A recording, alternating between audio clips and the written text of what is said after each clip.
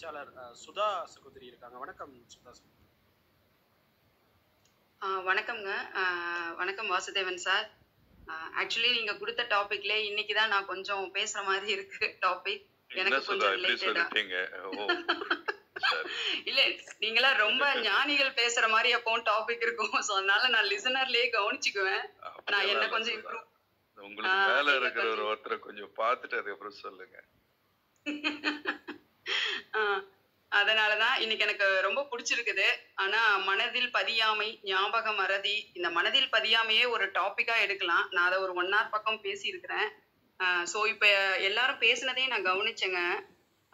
எல்லாம் பர்ஃபெக்டா சொன்னீங்க. மெயின் வந்து மூணு விஷயம் தான் குழந்தைங்க. குழந்தைங்கிறப்ப உங்களுக்கு ரெண்டு வயசோ இல்லை மூணு வயசுல இருந்தோ டென்த்து அந்த டுவெல்த் வரைக்குமே நம்ம குழந்தைங்கன்னு வச்சுக்கலாம். ஆனா அந்த ஒவ்வொரு குழந்தைங்கள எந்தெந்த ஏஜ்ல எப்படி நம்ம அவங்களுக்கு சொல்லி தரணும் எப்படி அவங்களோட இது மாறுபடும். சோ அதுக்கு தகுந்த மாதிரி நம்ம டீச் பண்றதோ ஆஸ் அ பேரண்ட்ஸ் ஆகட்டும் டீச்சர் ஆகட்டும் எப்படி நம்ம சொல்லி தரணும் அப்படிங்கறது அந்த ஏஜ் அவங்களோட கெப்பாசிட்டிக்கு தகுந்த மாதிரி நம்ம அதை புரிய வைக்கணும். நான் இப்படிதான் நடத்துவேன் நான் இப்படிதான் சொல்வேங்கிற மாதிரி பண்ணா அது குழந்தைங்களுக்கு பதியாது. அது ஃபர்ஸ்ட் பாயிண்ட் இதுல மனதில் பதியாமை அந்த டாபிக்னா ஒரு புக் ஆகட்டும். அதை பார்த்ததுமே அவங்களுக்கு அது புரியல. அதுதான் வித்தவுட் ரெக்கார்டிங் இன் மைண்ட் அதுதான் மனதில் பதியாமை. அப்ப அதை பார்த்ததுமே அவங்களுக்கு ஒரு ஐடியா வரலங்கிறப்ப ஃபர்ஸ்ட் அது என்னங்கிறதே அவங்களுக்கு தெரியாததான் மனசுலயே பதியாம போறதுக்கு ரீசன் அப்ப அந்த மனதில் பதியறதுக்கு தான் புக்கு ஆகட்டும். ஒரு தேர்ட் ஸ்டாண்டர்ட் செகண்ட் ஸ்டாண்டர்ட்னா அதுக்கு தகுந்த மாதிரி புக்கு கொடுப்பாங்க. நீங்க நோட் பண்ணீங்கன்னா நல்லா புரியும். ஏன்னா அந்த ஏஜ் குழந்தைங்களுக்கு அந்த ஒரு படம் இருக்கிறது கலர்ஃபுல்லா இருக்கிற லெட்டர்ஸ் அதெல்லாம் ரொம்ப பிடிக்கும். அப்படிங்கறனாலதான் நம்ம எஜுகேஷன் சிஸ்டம் வேற வேற எங்க வேர்ல்டு வைடு பாத்தீங்கனாலுமே புக்ஸ் அந்தந்த ஏஜுக்கு தகுந்த மாதிரி புக்கு ஒரு படம் கலர் அந்த மாதிரி கொடுக்கறது ரீசன் அதுதான். மெயின் வந்து அந்த ரெண்டு வயசு நாலு வயசு குழந்தைக்கு ஒரு மாதிரி இருக்கும். ஒரு ஃபிஃப்த் ஸ்டாண்டர்ட் படிக்கிற பையனுக்கு பொண்ணுங்களுக்கு வேற மாதிரி இருக்கும் சிலபஸ் இதுல. அது எதுக்குன்னா அது பார்த்ததுமே "ஏய், இது நல்லா இருக்கே இது எப்படி படிக்கலாம்? ஓ இது இந்த படம் போட்டிருக்குதா? ஓகே இதுல இருந்து நம்ம எப்படி அப்சர்வ் பண்ணலாம்? அப்படிங்கிற அந்த தாட் குழந்தைங்களுக்கு அது ஒரு இன்ட்ரெஸ்ட் வரும். அப்ப அது ஆட்டோமேட்டிக்கா மனசுல பதிய ஃபர்ஸ்ட் சான்ஸ் அதான் வரும். அந்த பஸ் பதிந்ததை நம்ம எப்படி ஞாபகம் வச்சுக்கணும்? அப்படிங்கறத நெக்ஸ்ட் பார்ப்பாங்க. அந்த முதல்ல அது பதியலினா அந்த ஞாபகம் வச்சுக்கிறதே அது கேள்விக்குறிதான். சோ அத முதல்ல மனதுல பதியறது ஒரு டாபிக் அந்த மனதுல பதியுதா பதியலையா அதை ஞாபகம் வச்சுக்க முடியுதா இல்லைங்கிறது இன்னொரு டாபிக் ஆக்சுவலி இந்த டைப் ஆஃப் மெமரிய வந்து பேசிக்கா நாங்க இதுல டீச்சிங்ல என்ன சொன்னா ஹிட் ஆர் மிஸ் மெமரின்னு சொல்லுவோம். இந்த மெமரி எப்படின்னா குழந்தைங்களுக்கு வந்து memory லாஸ்ங்கிறது one of the common thing அதை வந்து பேரண்ட்ஸ் வந்து ரொம்ப பெரிய இஷ்யூவா பண்ணவே தேவையில்லை. சடனா மெமரி லாஸ் ஆகும் அவங்களுக்கு. அதாவது டக்குன்னு பிகாஸ் அவங்கள என்னன்னா அந்த ஒரு பயம் அந்த சைல்ட்ஹுட்ல வந்து அவங்களுக்கு இது திட்டிடுவாங்களோ அது அவங்களுக்கு அந்த நெகட்டிவ் இதை வந்து ஏத்துக்கிற மனசு வந்து ரொம்ப கம்மி. ஏன்னா பேம்பரிங் ஒரு டீச்சர் ஆகட்டும் ஒரு பேரண்ட்ஸ் ஆகட்டும் நம்மள அப்ரிஷியேட் பண்ணும். ஒரு நல்லது தான் சொல்லுங்கிற ஒரு தாட் இருக்கும் அவங்களுக்கு. பேர்த்ல இருந்து. ஸோ அதனால அவங்களுக்கு வந்து ஒரு நெகட்டிவ் இது பண்ணா ஒரு நீங்க ஒரு ஹார்ஸா கேட்டாலே அந்த தெரியிற வேர்டும் கூட அவங்களுக்கு தெரியாது. அந்த பயத்துல வந்து மறந்துருவாங்க. அதனால ஒரு காமன் இந்த மாதிரி ஒரு மெமரி லாஸ் ஒரு இதா இருக்கிறது ஒன்றும் குழந்தைங்க ஏஜ்ல வந்து அது காமன் தான். அதை பத்தி பயப்படவே தேவையில்லை. என்னோட மெயின் இது வந்து மூணு பாயிண்ட் குழந்தைங்களுக்கு சொல்லுவேன். ஸ்ட்ரெஸ் அந்த லேக் ஆஃப் ஸ்லீப் அந்த ஹங்க்ரி இது மூணு தான் ரொம்ப இம்பார்ட்டன்ட் குழந்தைங்களுக்கு. அது ஆல்ரெடி இது டீட்டெயிலாக நிறைய பேர் சொல்லிட்டீங்க. இதுல ஸ்ட்ரெஸ்ஸுங்க வந்து நம்ம ஃபீல் பண்ற ஸ்ட்ரெஸ் வேற குழந்தைங்க பண்றது வேற. அவங்களுக்கு பாத்தீங்கன்னா நம்ம திங்க் பண்ணும்போது அது ரொம்ப லெஸ்ஸா தான் இருக்கும். அது பொம்மை உடஞ்சிருச்சா? அது நம்மகிட்டயே சொல்லாது. ஐயோ உடஞ்சிருச்சாப்பா? சரிப்பா. அதை நம்ம கூட்டி போட்டுட்டு போயிடலாம். நம்ம விட்டுட்டு அடுத்த வேலையை பேரண்ட்ஸ் பாத்துருவோம். ஆனா அந்த குழந்தைங்க மைண்ட்ல ரெண்டு நாள் மூணு நாள் அது திருப்பி திருப்பி ஓடிட்டே இருக்கும். அது மைண்ட் ஆகட்டும் ஒரு படிக்காது ஆன்லைன் கிளாஸே ஆனாலும் அட்டன் பண்ற மாதிரி இருக்கும். ஆஹ் அது வெளியில சொன்னாலும் அம்மாங்களும் அவங்களுக்கு புரியாது பேரண்ட்ஸுக்கும் அது உடஞ்சிச்சு நம்ம இன்னொன்னு வாங்கி கொடுத்தலான்னு விட்டுட்டு போயிடுவாங்க. அந்த குழந்தைங்களோட மெயின் ஸ்ட்ரெஸ் பாத்தீங்கன்னா இந்த மாதிரி சின்ன சின்ன விஷயத்துல தான் இருக்கும். அதை நம்ம குழந்தையா போய் பாக்குறப்பதான் கொஞ்சம் புரியும். எதனால அந்த ஃபேஸ் இப்படி இருக்கு? எப்பவும் சிரிச்சிட்டு இருக்குமே. இன்னைக்கே இந்த பையன் இப்படி இருக்கான். அப்படி கொஞ்சம் யோசிச்சீங்கன்னா அவங்க இதுல பாக்குறப்ப அந்த இதை இது பண்ணீங்கன்னா நீங்க அப்பவே சொல்யூஷன் கண்டுபிடிச்சிடலாம். அந்த குழந்தைங்களை வந்து நார்மல் இதுல இருந்து கொஞ்சம் கொண்டு வந்துடலாம். ஆஹ் இன்னொன்னு நிறைய இது ஸ்ட்ரெஸ் இதுல வந்து ஃபேமிலி பேக்ரவுண்ட் எல்லாம் சொன்னாங்க. அதுவும் ஒன் ஆஃப் த இது.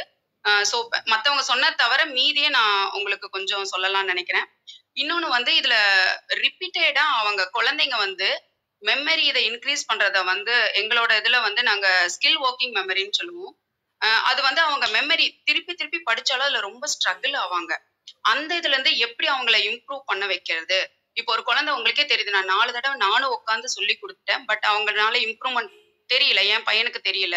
இல்லைன்னா ஒரு டீச்சருக்கே ஒரு ஸ்டூடெண்ட் தெரியலன்னா ஃபர்ஸ்ட் அவங்கள இம்ப்ரூவ் பண்றதுக்கு என்ன வழி அப்படிங்கறத நம்ம பார்க்கலாம். அதை ஃபர்ஸ்ட் நீங்க டெஸ்ட் பண்ணணும். இப்ப எனக்கே ஒரு மூணு குழந்தை ரெண்டு குழந்தை இருக்காங்கன்னு வச்சுக்கோங்க. ரெண்டு குழந்தையும் பிறந்ததுல இருந்து நான் தான் வளர்க்குறேன் பட் ரெண்டு பேரும் ஒரே மாதிரி இருக்க மாட்டாங்க. இல்லைங்களா? அதே மெத்தட்ல தான் நான் சின்னதுல இருந்து சொல்லி கொடுத்துருப்பேன் எல்லாமே பண்ணியிருப்பேன். பட் ரெண்டு பேரும் ஏன் எதனால? அவங்களோட மெமரி லெவல் வேற ஒவ்வொருத்தரோட கேரக்டர் வேற அப்படிங்கிறப்ப ஒரு குழந்தைக்கு நான் எந்த வேலை டீச் பண்றேன் அவங்களோட இது எப்படி எதுல இன்ட்ரெஸ்டோ அந்த வழியில தான் நான் போய் டீச் பண்ணணும். அதே மாதிரிதான் இன்னொரு குழந்தைக்கு எப்படியும் அந்த வழியில டீச் பண்ணணும். இந்த ட்ரிக் பேரண்ட்ஸ் கத்துக்கிட்டாலே போதும். ஓரளவுக்கு குழந்தைய நம்ம நல்ல விதமா கொண்டுட்டு வந்துடலாம் குழந்தை வழியிலேயே போய் கொண்டுட்டு வரதான் பெஸ்ட் எஜுகேஷன் எஜுகேஷனா பாடம் படிக்கிறது மட்டும் இல்ல இந்த வாழ்வியல் சொல்லி தரதும் ரொம்ப இம்பார்ட்டன்ட் குழந்தைங்களுக்கு. ஆஹ் இந்த வந்து என்ன பொறுத்த வரைக்கும் எஜுகேஷன் மட்டும் இல்லாம உலக உலகத்தை பத்தின சமுதாயத்தை பத்தின கற்றல் வந்து குழந்தைங்களுக்கு பொண்ணாகட்டும் பையனாகட்டும் இப்ப இருந்தே நம்ம ஒரு பேசிக் இது சொல்லி தரது ரொம்ப நல்லதுன்னு நினைக்கிறேன். ப்ராக்டிக்கல் கற்றல் ரொம்ப நல்லதுன்னு நான் நினைக்கிறேன். இதுல இம்ப்ரூவ்மெண்ட் மெமரி வந்து ஒரு நாலஞ்சு இதுல நம்ம சொல்லலாம். குழந்தைங்களை வந்து விஸ்வலைஸ் பண்ண சொல்லணும். விஸ்வலைசேஷனா நம்ம நிறைய சொல்லணும். அதாவது பார்க்கணும் இதை பாரு இது என்ன? அந்த கொஸ்டின் வந்து குழந்தைங்க அதிகம் கேட்க விடணும். அவங்க கேட்கறப்ப உங்களுக்கு தெரியலனாலும் சைலண்டா விட்டுட்டு சிரிச்சிருங்க. ஓகேங்களா அதுக்குன்னு தப்பான ஒரு ஆன்சரை சொல்லக்கூடாது. ஏன்னா அந்த இதுல வந்து ஓ நம்ம பேர் இதாயிடுமோ? நம்ம குழந்தை கேட்டு நமக்கு பதில் தெரியலனா அந்த இடத்துல அம்மா அப்பாவுக்கு இதாயிடுமோ? அதை நினைக்கவே நினைக்காதீங்க. குழந்தைங்க வந்து அந்த அளவுக்கு எல்லாம் திங்க் பண்ண மாட்டாங்க. நீங்க அவங்க கேட்கறத ரசிக்கிறீங்களா? இன்ட்ரெஸ்டா இருக்கீங்களா? அதை மட்டும்தான் அவங்க பாயிண்ட்ல பார்ப்பாங்க. சோ அதனால அந்த ஒரு ஆட்டிடியூட் நம்ம கொண்டு வந்தோம்னாலே அவங்க இன்னும் நிறைய யோசிப்பாங்க. இப்போ ஒரு பிளான் ரீடு இப்ப ரீடிங் வந்து ரொம்ப கொடுக்கணும். இதுல வந்து ஆஹ் அவங்களுக்கு வந்து ரொட்டீன் இப்போ ஒரு இது உங்களுக்கு தெரியும் இதுல வந்து இவன் அவங்க வீக்கா இருக்காங்க அப்படின்னு உங்களுக்கு உங்க பசங்க தோணுச்சுன்னா அதை ரொட்டீன் ஆக்குங்க. உடனே நீ படிக்க மாட்டேங்கிற அவன் படிக்கிறான் அதே இதுதான் பண்றான் அப்படி சொல்லாம ஒரு ரொட்டீன் ரொட்டீனா ஒரு ஃபோர் டேஸ் படி ஒரு டென் மினிட்ஸ் படி டுவெண்ட்டி மினிட்ஸ் படி ten minutes ten minutes daily ten minutes சொல்லுங்களேன். ஏ டென் மினிட்ஸ் படிக்கிறியா? அவ்வளவுதான். நெக்ஸ்ட் டென் மினிட்ஸ் படிக்கிறியா? அப்படியே சொல்லுவீங்களா? அதே விளையாட்டா எடுத்து படிச்சுட்டு அடுத்த நாள் நீங்க நாலாவது நாள் முடிச்சு அஞ்சாவது நாள் சொல்லவே வேணாம். புக் எடுத்தா அந்த பசங்களா எடுத்து படிப்பாங்க. அதுவும் இன்ட்ரெஸ்டா படிப்பாங்க. அதுதான் ரொம்ப இம்பார்ட்டன்ட் அது ரொட்டீன் கொண்டு வருது அப்புறம் இன்னொன்னு இப்ப செகண்டரி ஸ்டூடெண்ட்டுங்கிறப்ப ஒரு சிக்ஸ் ஸ்டாண்டர்ட் செகண்ட் ஸ்டாண்டர்ட் எல்லாம் போயிட்டாங்கன்னா அவங்க சிலபஸே டோட்டல் வேற. அப்ப அவங்கள மல்டி டாஸ்க் அட்ட டைம்ல பண்ண சொல்லாதீங்க. நீ இன்னும் இதை பெண்டிங் வச்சிருக்க இதை வச்சிருக்கிற அப்படின்னு அதை சொல்லும் போதே அவங்களுக்கு ஒரு பயம் வந்துடும் அப்ப அவங்களுக்கு என்ன ஆகும்னா அது இன்னும் பேர்டனா தான் தெரியும். சோ அந்த டைம்ல நம்ம வந்து ரெடியூஸ் மல்டி டாஸ்க் நீ இதை பண்ணு இதை பண்ண சொல்லாம ஏ நீ இதை இதெல்லாம் முடிச்சிருக்கீல ஃபர்ஸ்ட் இதை முடிச்சிரியா அதை முடிக்க வைங்க. முடிச்சதும் நீ இன்னும் இந்த பெண்டிங் வச்சிருக்கியே இதை முடிச்சிடறியா? அப்படி நீங்க கேட்கும் போது இன்னும் அந்த குழந்தைங்க வந்து ஓ இது முடிச்சிட்டோம் முடிச்சிட்டோம். கொஞ்சம் ஒரு ஒன் ஆர் டூ ஹவர்ஸ் போச்சா? ஒன் ஹவர் பிரேக் எடுத்துக்கிறியா? மியூசிக் கேட்கறியா அப்படிங்கறதுல நம்ம அப்படி கொண்டுட்டு போகலாம். இது ஒரு ஒன் ஆஃப் த இம்ப்ரூவ் குழந்தைங்களை வந்து அவங்க வழியில போய் நம்ம கொண்டுட்டு வர மெத்தட்ல ஒண்ணு. அப்புறம் இன்னொரு இது சொல்லணும்னா குழந்தைங்களுக்கு மெயினாவே பாத்தீங்கன்னா பிஃபோர் எட்டு எட்டு வயசுக்குள்ள நீங்க ரைம் சாங் அதனாலதான் நம்ம இது குழந்தைங்களை சின்னதுல இருந்தே ரைம்ஸ் பாடுறது காரணமே அதுதான். இந்த பாட்டு வழியில கொண்டுட்டு போகும்போது குழந்தைங்க வந்து நல்லா கவனிப்பாங்க. இப்ப நம்ம அடல்ட் ஆனாலுமே பாருங்க நைட்டு தூங்குறப்பெல்லாம் அந்த பாட்டு கேட்கறப்ப நமக்கே ஒரு மாதிரி ஒரு நிம்மதி ஒரு ஒரு ஹாப்பினஸ் உள்ள தெரியும். ஆனா குழந்தைங்களுக்கு வந்து கத்துக்கிறதேங்கிறனாலதான் அந்த ரைம் சாங் வழியில ஒரு இதை டீச் பண்றதோ ஒரு லேர்ன் பண்றதோ குயிக்கா மைண்ட்ல பதிஞ்சிரும் அவங்களுக்கு.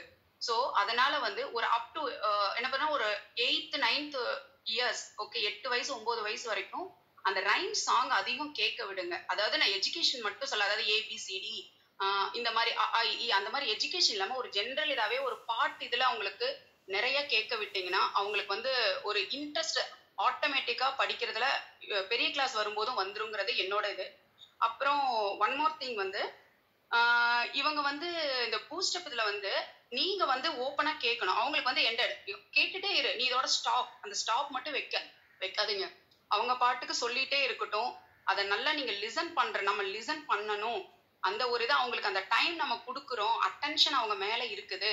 அப்படிங்கிற ஒரு இதை மட்டும் நம்ம கொண்டு வந்துட்டோம்னா போதும். அவங்க அதிகம் நம்மகிட்ட எதிர்பார்க்கறது அவங்களோட நம்ம ஸ்பெண்ட் பண்ணணும் அஸ் அ பேரண்ட்ஸா இருந்தாலும் சரி டீச்சரா இருந்தாலும் சரி அவங்கள நம்ம பாராட்டணுங்கிறத எனக்கு தெரிஞ்சு நான் எயித் வரைக்கும் குழந்தைங்களுக்கு கவர் பண்ண வரைக்கும் பாக்குறேன்.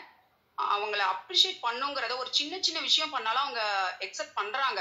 ஒரு அவங்களுக்கே நல்லா பண்ணலே தெரிஞ்சாலும் எனக்கு நீங்க இதை சொல்லல அந்த ஃபீட்பேக் அந்த இதை அவங்க எதிர்பார்க்கறாங்க. அப்ப நல்லதோ கெட்டதோ அதை நம்ம ஒரு குட் வேல சொல்லும் போது ஹலோ ஹலோ கேக்குதுங்களா? கண்டினியூ பண்ணுங்க. ஒன்றும் பிரச்சனை இல்லை. மேல வந்து உங்க மைக் கொஞ்சம் மியூட் பண்ணிக்கோங்க. கண்டினியூ ஆ ஓகே ஓகேங்க ஸோ அதை கன்டினியூ பண்றது நல்லதுன்னு நினைக்கிறேன். அதை ஒவ்வொரு இதுலயும் நீங்க என்கரேஜ் பண்ண அப்புறம் இன்னும் one more physical physical activity ரொம்ப கொடுக்கணுங்க. இப்ப எல்லாம் உட்காரு படி செஸ் போ இந்த கிளாஸ் போ அந்த கிளாஸ் போ அந்த படிப்பு படிப்புன்னு இல்லாம இந்த பிசிக்கல் இது குழந்தைங்களுக்கு ரொம்ப இம்பார்ட்டன்ட் பாய்ஸ் ஆர் கேர்ள் ரெண்டு பேருக்குமே. அந்த இதுலயும் நம்ம கொஞ்சம் கான்சென்ட்ரேட் பண்ணணும். இப்போ கோவிட் டைம்ல வந்து குழந்தைங்களை மட்டும் போய் வெளியில விளையாடுனா கண்டிப்பா அவங்க பாவம் பக்கத்துலயும் கூட போக முடியாது. அப்ப ஆஸ் அ பேரண்டா நம்மளும் குழந்தைங்களோட சேர்ந்து விளையாடலாம். அது தப்பே இல்லை. நம்ம பக்கத்துல இருக்கிறத அதெல்லாம் யோசிக்காதீங்க. எல்லாரும் சேர்ந்து நல்லா விளையாடுங்க. அந்த குழந்தைங்க உங்க குழந்தைங்க ஹாப்பியா இருக்காங்களா? ஒன் ஹவர் அவங்க பிசிக்கல் நல்லா இருக்குன்னா அஸ் அ பேரண்டா நம்மளும் கொஞ்சம் ஸ்பெண்ட் பண்ணோம்னா ஃபேமிலியும் நல்லா இருக்கும். அந்த ஒரு இது. பிசிக்கல் இது ஆக்டிவிட்டி ஆஸ் அ பேரண்டா நம்மளும் குழந்தைங்களோட விளையாடுறது ரொம்ப நல்லது. அது ஒரு இது. அப்புறம் அவங்களே வந்து ஓன் எக்ஸாம்பிளா வைக்கிற மாதிரி. இது வந்து நான் செகண்டரி ஸ்டூடெண்ட்டுக்கு சொல்றேன். அதாவது கொஞ்சம் பெரிய பசங்களுக்கு. இப்போ ஒரு டாபிக் எடுக்கிறாங்க ஒரு இது ஏதாவது கத்துக்கிறாங்க ஒரு படிக்கிறாங்கன்னா ஒரு இப்போ அவங்களுக்கு ஒரு ப்ராஜெக்ட் கொடுக்குறாங்க அந்த மாதிரினா ஓன் எக்ஸாம்பிள் அவங்கள வச்சே அவங்க சொல்ற மாதிரி அவங்கள தயார் பண்ணுங்க. நீங்க ஜஸ்ட் கேளுங்க. ஓகே இந்த இடத்துல நீ இருந்தீங்கன்னா நீ எப்படி பண்ணுவ? இப்ப நீ லீடரா இருந்தா என்ன பண்ணுவ? அந்த மாதிரி கேட்கும்போது அவங்களோட பிரைன் ஆக்டிவிட்டி இன்னும் கொஞ்சம் ஒரு திங்கிங் இது டெவலப் ஆகும். அது இன்னும் ஈஸி வே இப்ப இதை நீ படி அதுன்னு சொல்றது இந்த இடத்துல நீ இருந்தீன்னா நீ என்னப்பா பண்ணிருப்ப? அப்படின்னு அம்மாவோ அப்பாவோ கேட்கும்போது அந்த குழந்தைங்களுக்கு என்ன ஆகும்? யோசிப்பாங்க. ஆமாம்மா நான் இந்த இடத்துல இப்படி பண்ணியிருப்பேன் இன்னும் நான் இவ்வளவு டெவலப் ஆயிருக்கணும். ஃபியூச்சர்ல நான் இதை அச்சீவ் பண்ணுவேன். அப்ப அதை யோசிப்பாங்களா? யோசிக்கும் போது ஆட்டோமேட்டிக்கா அடுத்து நம்ம என்ன பண்ணணுங்கிற ஒரு தாட் ஆட்டோமேட்டிக்கா வந்துரும். இந்த மாதிரி கொஸ்டின் ஓன் எக்ஸாம்பிள் குழந்தைங்கிட்ட கேட்கறது ரொம்ப நல்லது. ஆஹ் அப்புறம் மைண்ட் மேப் இதை நம்ம பெரியவங்க அதிகம் யூஸ் பண்ணுவோம். மைண்ட் மேப் அது ஆஃபீஸ் இது அந்த இதுல எல்லாம் இது பண்ணுவாங்க. மைண்ட் மேப் வந்து குழந்தைங்க இதுலயே கொண்டுட்டு வர்றது இன்னும் நல்லது. ஒரு சென்டர் இது இப்போ ஒரு இப்ப சின்ன குழந்தைங்க இருந்து ஸ்டார்ட் பண்ணலாம். ஒரு அஞ்சு வயசோ ஆறு வயசுல இருந்தே கூட நீங்க ஹையர் செகண்டரி வரைக்கும் ஸ்டார்ட் பண்ணலாம். அந்த அஞ்சு வயசு குழந்தையா இருந்தாலுமே நீங்க ஒரு இப்ப படுக்குறீங்க தூங்க போறதுக்கு முந்தி க- கண்டிப்பா வந்து தூங்க போறதுக்கு முந்தி எல்லா பேரண்ட்ஸும் கொஞ்சம் டைம் ஸ்பெண்ட் பண்ணுங்க குழந்தைங்களோட உங்க குழந்தைங்களோட. இன்னைக்கு எப்படி போச்சு? நீங்க வீட்லயே இருந்தாலும் சரி வீக்கெண்ட் குழந்தைங்களோட தான் இருந்தாலுமே இன்னைக்கு ஹாப்பியா போச்சா? எப்படி இருந்ததுமா? நீ எது குட்டா நினைச்ச? எது பேடா நினைச்ச? உனக்கு ஏதாவது இன்னைக்கு மிஸ் பண்ணிட்டோமா? நாளைக்கு அது பண்ணலாமா? அந்த மாதிரி ஒரு 15 மினிட்ஸ் கேட்டா உங்களுக்கு இல்லம்மா இது okay I am happy today அப்படிங்கிறப்ப அம்மா அப்பா நம்மள அப்சர்வ் பண்றாங்க நம்மள டேக் கேர் பண்றாங்கங்கிற அந்த ஒரு இது நல்லா இருக்கும். அப்ப அவங்களும் கொஞ்சம் பண்ணணுங்கிற ஒரு ஒரு டெவலப் ஆகணுங்கிற ஒரு தாட் அது வரும். அது ஒரு ஹெல்த்தி ஃபேமிலியை பில்ட் பண்ணுங்கிறத நான் நினைக்கிறேன்.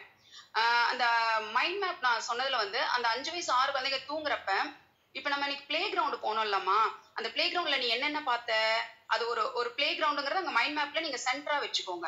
அந்த பிளே கிரவுண்டை சுத்தி நீ என்னென்ன பார்த்த? அது அந்த ஏஜ் தகுந்த மாதிரி நீங்க கேட்கலாம். ஓகேங்களா?